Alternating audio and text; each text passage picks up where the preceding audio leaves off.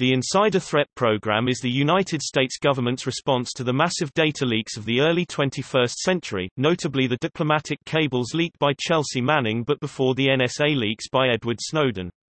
The program was established under the mandate of Executive Order 13587 issued by Barack Obama.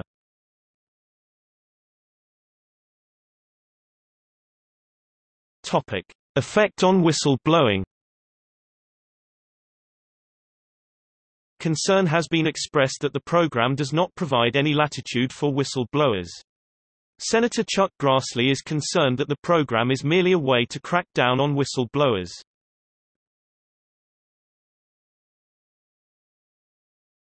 Topic: Senate hearing.